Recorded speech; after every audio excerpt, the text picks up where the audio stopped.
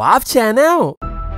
บอนสีของไทยนั้นมีหลายชนิด และบอนสีที่เป็นที่นิยมอยู่ณตอนนี้ ก็เป็นบอนสีสายพันธุ์ใหม่ไฟแรง แต่ก็ยังมีกลุ่มของบอนสีเก่าๆ หรือบอนสีโบราณทั้งที่เป็นที่รู้จัก และพบเห็นได้ง่าย แต่ก็ยังมีอีกหลายสายพันธุ์ที่เริ่มหาซื้อกันยากแล้ว และคลิปนี้ก็ได้รวมเอาบอนสีเก่าบอนสีโบราณมาให้ได้ชมกัน ส่วนจะมีบอลสีสายพันธุ์อะไรกันบ้างนั้น ก็ตามไปรับฟังกันได้เลยครับ อันดับ 20 เพชรราหู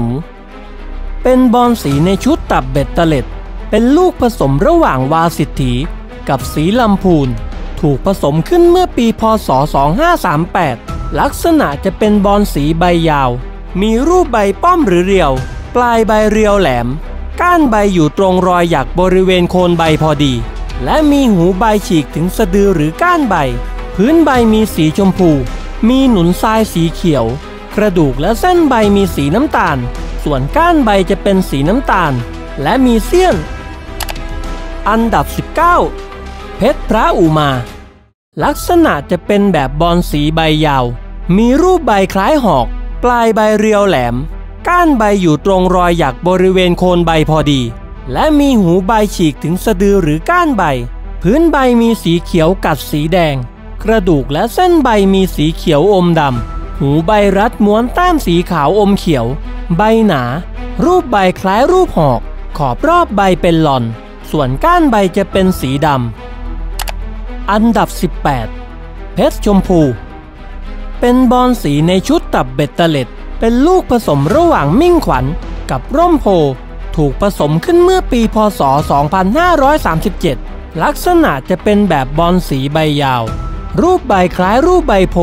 ปลายใบเรียวแหลม ก้านใบอยู่ตรงรอยหยักบริเวณโคนใบพอดี และมีหูใบฉีกถึงสะดือหรือก้านใบ พื้นใบมีสีชมพู มีพร่าสีเขียวอ่อนกระจาย กระดูกใบและเส้นใบเป็นสีขาว ขอบใบเป็นสีเขียวก้านมะลิ ส่วนก้านใบจะเป็นสีเขียว อันดับ 17 การจนะเรขา เป็นบอลสีในชุดตับเบ็ดเตล็ด เป็นลูกผสมระหว่างเกตจุลามณี กับบางบาน ถูกผสมขึ้นเมื่อปีพศ 2537 ลักษณะจะเป็นบอลสีชนิดใบกาบ มีรูปใบแหลม พื้นใบมีสีส้มอมแดง มีพร่าสีแดง กระดูกใบและเส้นใบเป็นสีขาว ปลายใบและขอบใบเป็นสีเขียว มีกาบสีน้ำตาลอมเขียว และมีเสี้ยนหนาอยู่ด้านหลังกาบ อันดับ 16 เพชรน้ำหนึ่ง เป็นบอลสีในชุดตับเบ็ดเตล็ด เป็นลูกผสมระหว่างสายทานกับมนตราถูกผสมขึ้นเมื่อปีพศ 2538 ลักษณะจะเป็นแบบบอลสีใบไทย รูปร่างใบคล้ายรูปหัวใจ ก้านใบอยู่กึ่งกลางใบ ปลายใบแหลมหรืออาจมน และมีหูใบฉีกไม่ถึงสะดือหรือก้านใบ พื้นใบเป็นสีขาว กระดูกและเส้นใบเป็นสีเขียว มีพร่าสีเขียวเล็กน้อย ขอบใบมีสีเขียว มีเส้นสีเขียวพาดจากสะดือใบถึงระหว่างหู ส่วนก้านใบจะเป็นสีเขียว อันดับ 15 เทพประสิทธิ์ เป็นบอลสีในชุดตับเบ็ดเตล็ด เป็นลูกผสมระหว่างมนตรา กับสีบางพูน ถูกผสมขึ้นเมื่อปีพศ 2537 ลักษณะจะเป็นแบบบอลสีใบยาว รูปใบคล้ายรูปใบโพ ปลายใบเรียวแหลม ก้านใบอยู่ตรงรอยหยักบริเวณโคนใบพอดี และมีหูใบฉีกถึงสะดือหรือก้านใบ พื้นใบมีสีชมพูอมแดงอ่อน กระดูกใบและเส้นใบหนามีสีแดงคล้ำอมดำ ก้านใบเป็นสีดำส่วนคอใบจะเป็นสีชมพู อันดับ 14 มิ่งมาเหสี เป็นบอลสีในชุดตับเบ็ดเตล็ด เป็นลูกผสมระหว่างหานุมานเข้าเฝ้า กับจังหวัดพิษณุโลก ถูกผสมขึ้นเมื่อปีพศ 2519 ลักษณะจะเป็นแบบบอลสีใบยาว รูปใบคล้ายรูปใบโพ ปลายใบเรียวแหลม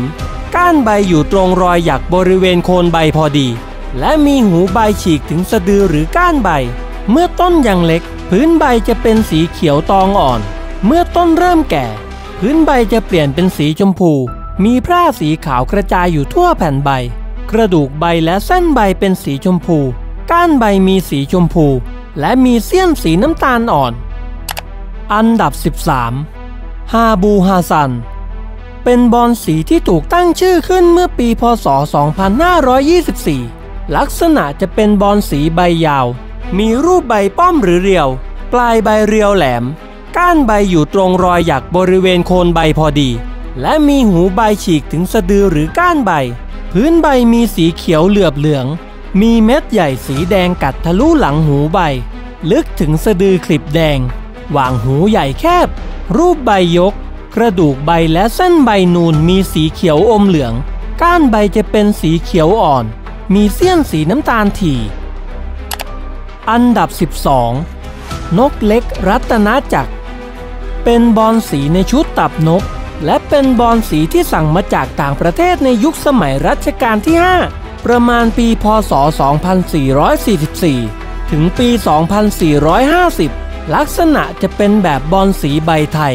รูปร่างใบคล้ายรูปหัวใจ ก้านใบอยู่กึ่งกลางใบ ปลายใบแหลมหรืออาจมน และมีหูใบฉีกไม่ถึงสะดือหรือก้านใบ พื้นใบมีสีชมพูอมแดงมีหนุนทรายสีเขียว กระดูกใบและเส้นใบมีสีแดงสด มีเม็ดเล็กๆ สีขาวอมชมพู ก้านใบสีชมพูอมแดง มีสะพานหน้าหลังและสาแหรกสีดำ อันดับ 11 เทเวศนารุมิตร เป็นบอลสีลูกผสมระหว่างนางละแวง กับสมพานคง ถูกผสมและตั้งชื่อขึ้นเมื่อปีพศ 2529 ลักษณะจะเป็นแบบบอลสีใบยาวรูปใบคล้ายรูปใบโพ ปลายใบเรียวแหลม ก้านใบอยู่ตรงรอยหยักบริเวณโคนใบพอดี และมีหูใบฉีกถึงสะดือหรือก้านใบ พื้นใบมีสีเขียวอ่อน กระดูกใบและเส้นใบจะเป็นสีขาว มีป้ายสีแดงคล้ำ เมื่อใบเริ่มแก่ ขอบใบจะเริ่มเป็นสีขาว ส่วนก้านใบจะเป็นสีน้ำตาลเข้ม อันดับ 10 ตรีทอง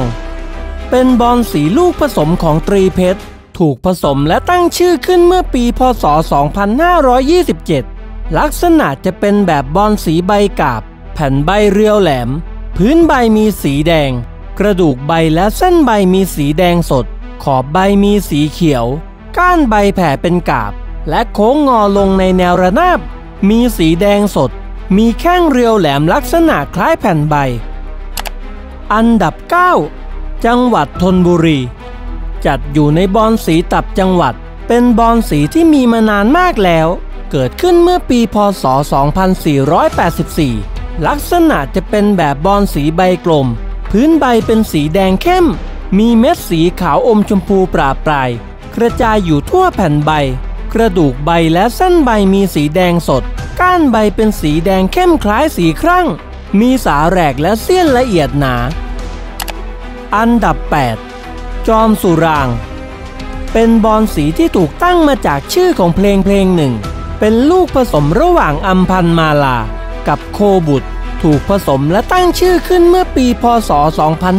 2530 ลักษณะจะเป็นแบบบอลสีใบไทย รูปร่างใบคล้ายรูปหัวใจ ก้านใบอยู่กึ่งกลางใบ ปลายใบแหลมหรืออาจมน และมีหูใบฉีกไม่ถึงสะดือหรือก้านใบ พื้นใบมีสีแดงเข้มเป็นมัน กระดูกใบและเส้นใบมีสีแดง มีเม็ดใหญ่สีชมพูจางๆกระจายห่างกัน ก้านใบมีสีแดง และบางก้านจะมีสะพานสีน้ำตาล อันดับ 7 จงรัก เป็นบอลสีที่ถูกตั้งมาจากชื่อของเพลงเพลงหนึ่ง ลักษณะจะเป็นแบบบอลสีใบยาว รูปใบคล้ายรูปใบโพ ปลายใบเรียวแหลม ก้านใบอยู่ตรงรอยหยักบริเวณโคนใบพอดี และมีหูใบฉีกถึงสะดือหรือก้านใบ พื้นใบจะเป็นสีแดงเข้มเป็นมัน กระดูกใบและเส้นใบเป็นสีแดง ขอบใบเป็นคลื่น ก้านใบเป็นสีแดง มีสะพานหน้าและสะพานหลังสีน้ำตาล อันดับ 6 ครุฑเป็นบอลสีลูกผสมระหว่างชื่นบานกับลูกไม้ใบไทย ลักษณะจะเป็นแบบบอลสีใบกาบ แผ่นใบค่อนข้างกลม ปลายใบมีลักษณะเรียวแหลม พื้นใบจะเป็นสีแดงเข้ม กระดูกใบและเส้นใบจะเป็นสีแดง ก้านใบก็เป็นสีแดงสด มีแข้งลักษณะคล้ายกับแผ่นใบ ก้านใบส่วนบนจะกลม ส่วนล่างใต้แข้งจะแผ่เป็นกาบ อันดับ 5คเนศวรเป็นบอนสีลูกผสมของพญานาคราช ถูกผสมขึ้นเมื่อปีพศ 2530 ลักษณะจะเป็นบอนสีใบกาบ แผ่นใบห่อขึ้นด้านบน ปลายใบเรียวแหลม พื้นใบมีสีแดง กระดูกใบและเส้นใบมีสีขาว มีคลิปสีเขียวตามขอบใบ ก้านใบเป็นกาบคลิปสีเขียวและมีสีชมพู เมื่อต้นยังเล็กจะยังไม่มีแข้ง และเมื่อโตเต็มที่แล้ว แผ่นใบจะแตกเป็นแข้งออกมามีลักษณะคล้ายแผ่นใบ อันดับ 4 เกตมาวดี เป็นลูกผสมระหว่างเกตจุลามณี กับโคบุตรถูกผสมขึ้นเมื่อปีพศ 2529 ลักษณะจะเป็นแบบบอนสีใบกาบ แผ่นใบคล้ายรูปใบโพ และย่นเป็นคลื่น พื้นใบมีสีขาวอมเขียวอ่อน กระดูกใบและเส้นใบเป็นสีขาว มีพร่าสีชมพู ขอบใบคลิปสีเขียว ส่วนก้านใบจะเป็นสีเขียวอ่อน มีแข้งสีคล้ายแผ่นใบ ก้านส่วนบนจะกลม ส่วนล่างจะแผ่เป็นกาบสีขาว และมีเสี้ยนสีเขียว อันดับ 3 ซับอานันต์ เป็นบอนสีในชุดตับเบ็ดเตล็ด เป็นลูกผสมระหว่างหมอยอดเดชกับมนตรา ถูกผสมขึ้นเมื่อปีพศ 2535 เป็นบอลชนิดกัดสี ลักษณะจะเป็นแบบบอลสีใบยาว รูปใบคล้ายรูปใบโพปลายใบเรียวแหลม ก้านใบอยู่ตรงรอยหยักบริเวณโคนใบพอดี และมีหูใบฉีกถึงสะดือหรือก้านใบ เมื่อโตจะกัดสีเป็นสีขาวอมชมพู กระดูกใบและเส้นใบมีสีเขียวอมน้ำตาลเล็กน้อย ก้านใบจะค่อนข้างดำ อันดับ 2 พระพลเทพ เป็นลูกผสมระหว่างเทพทินกร กับลูกไม้ของเท้ารำไพถูกผสมขึ้นเมื่อปีพศ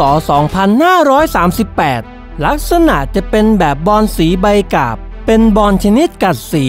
แผ่นใบยาว พื้นใบมีสีขาว และกัดสีชมพูอมแดง กระดูกใบและเส้นใบเป็นสีเขียว ก้านใบเป็นสีดำและมีแข้งเล็ก อันดับหนึ่งสายโลหิต เป็นบอนสีในชุดตับเบ็ดเตล็ด เป็นลูกผสมระหว่างบางปะอินกับจินตนาการ ถูกผสมขึ้นเมื่อปีพศ 2538 ลักษณะจะเป็นบอนสีชนิดใบกาบ พื้นใบเป็นสีขาวนวลคลิปสีเขียวก้านมะลิ มีหนุนทรายเป็นสีขาว กระดูกใบและเส้นใบเป็นสีแดงเข้ม ลักษณะคล้ายเส้นเลือด ปลายใบแหลม ก้านใบเป็นกาบใหญ่ และมีแข้งสีเหมือนสีแผ่นใบ